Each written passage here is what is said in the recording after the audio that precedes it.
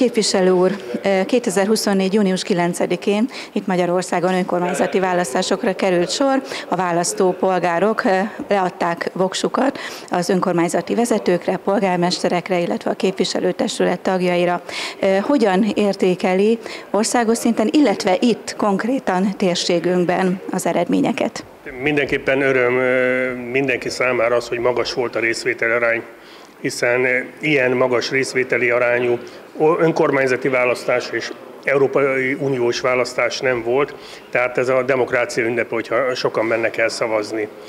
Országosan voltak olyan polgármesterek, akiket megerősítettek, volt, ahol újítás történt, de ebbe a körzetbe a Jászlánykon megye hármas számú választókörzetbe, amelynek Karcag a központja. Azt tudom mondani, hogy szinte minden településen azok a jelöltek nyertek, akiket a Fidesz-KDNP támogatott, és örülök annak, hogy voltak olyan polgármesterek, akik úgy gondolták már, hogy belefáradtak, idősebbek, jöttek helyettük a fiatalok, és együtt kampányoltak a fiatalok mellett. Tehát a váltás is zöggenőmentesen történt.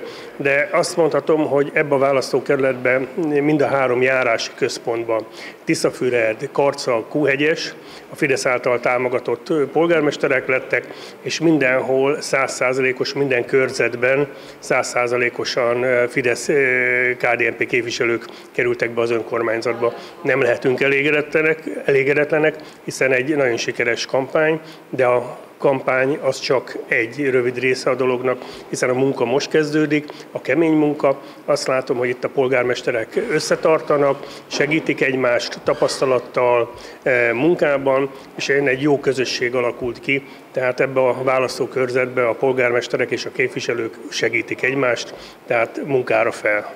Tehát az a fajta gondolkodás és tetrekészség, ami eddig is jellemezte ezt a körzetet, az folytatódik az elkövetkezendőkben is, hiszen majdnem minden településen maradtak az eddigi vezetők, és egy nagyon jó csapatot alkotnak.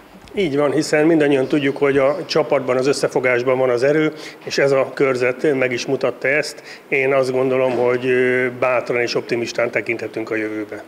Június 9-én nem csak önkormányzati választások voltak, hanem Európai Uniós választás is, és nem csak itt Magyarországon, hanem az Unió valamennyi országában szavaztak az állampolgárok. Ezt hogyan értékeli?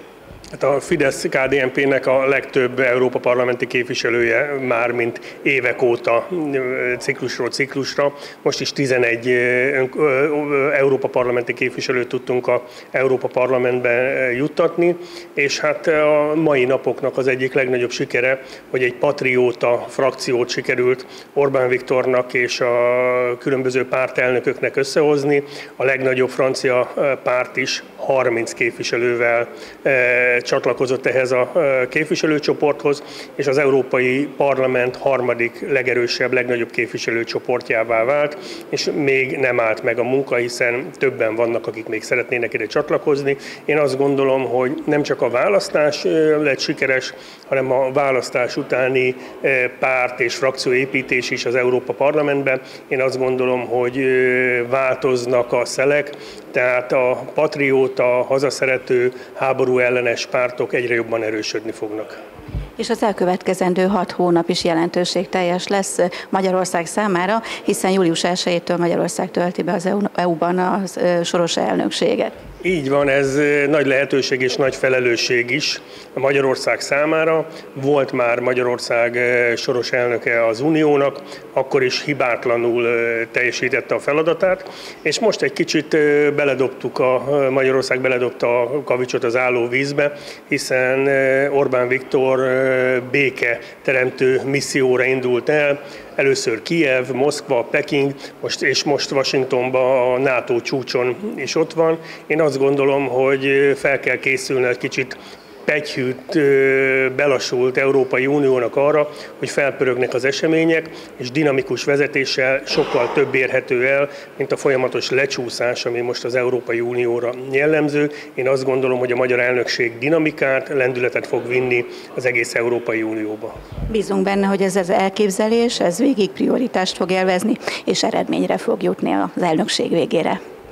Így van, biztos vagyok benne, hiszen már néhány hete tölti be Magyarország az elnöki pozíciót, soros elnöki pozíciót, és már olyan dolgokat tudott véghez vinni, ami felpörgeti az eseményeket. Én bízom benne, hogy egyre több békeszerető ember fog arra a belátásra jutni, hogy Európának béke kell, mert Európa háború nélkül csak békében tud fejlődni.